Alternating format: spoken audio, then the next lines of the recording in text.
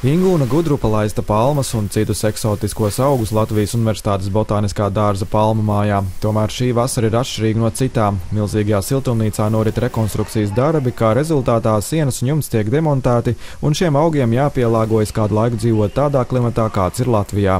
Jūs varat paši paskatīties, cik priecīgi viņi izskatās, apbiruši ar smiltīm un atrodoties, varētu teikt, šādā celtniecības hausā. Nu, kāds izskatās tā uz pirmo brīdi.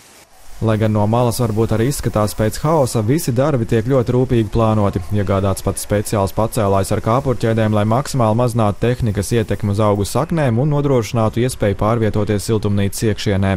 Palmu mājas pārbūve ir viens no sarežģītākajiem būvniecības projektiem, kāds līdz šim bijis, stāsta būvnieku pārstāvs Raimons Čērāns, kur uzņēmums būvējis nevienu klimata būvu arī citās valstīs.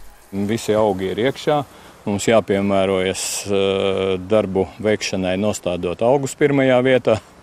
Un, uh, tas rada sarežģījumus gan darbietilpības, gan mehānismu izvēles jautājumos, kā arī konstruktīvajās lietās. Mēs nevaram nojaukt visu uzreiz un nomainīt to, ko vajadzētu mainīt pēc konstruktoru risinājumiem, bet mums jādara posmu pa posmam. Mainīts tiek praktiski viss, paliek tikai nesošās konstrukcijas, kurām uzbūvēti jauni pamati. Vecās izturīgās metāla sīs tiek īpaši apstrādātas, lai varētu kalpot vēl daudzus, jo daudzus gadus. Lai izvairītos no neizdevīgām slodžu kombinācijām, nedrīkst pieļaut sniega uzkrāšanos virspusē.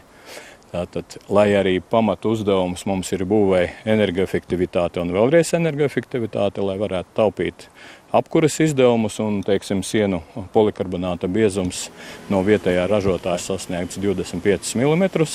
Viņš tiešām būs energoefektīvs risinājums, bet augšpusē mums ir vienkāršs stikla segums, lai tajā brīdī, kad sāks sniegt sniegs, varētu nokausēt viņu nekavējoties. Ikdienu būvprojektā darbojas aptuveni 20 līdz 30 strādnieki. Termiņš ir īs, būvdarbi iekavēties nedrīkst. Rudenī visam ir jābūt atpakaļ zem jumta, jo lielos kokus nav iespējams pārvietot uz siltāku vietu. Botāniskā dārza direktors stāsta, ka iegūmi pēc darba pabeigšanas būs daudz, sākot ar mazākiem apkurs rēķiniem un beidzot ar labāku un sakoptāku skatu apmeklētājiem.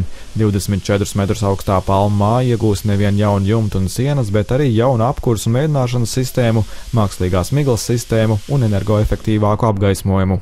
Darbiniekiem būs vieglāk rūpēties par augiem, būs vieglāk arī kontrolēt to klimatu šeit, kas mūsu, kā, mēs ļoti priecājamies par automatizēto kontroli, ka mēs varēsim kontrolēt gan lūkas, gan aizskarus, gan ūdens padevi, to visu automātiski. Plus augiem, es domāju, ka noteikti būs vairāk gaismas, labāk apstākļi, ziemas nebūs vairs bīstams. Palmu mājas ekspozīcijā ir aptuveni 400 dažādu augu, tostarp Latvijā lielākā palmu kolekcija. Viens no vecākajiem eksponātiem ir lielapu fikus, kas šeit aug jau no 1928. gada. Tiesa, viena palma šogad lielās vētras laikā gāja bojā. To nolauz spēcīgais vējš, neskatoties uz to, ka siltumnīca pirms vētras tika nosegta un liela daļa koku atsieti.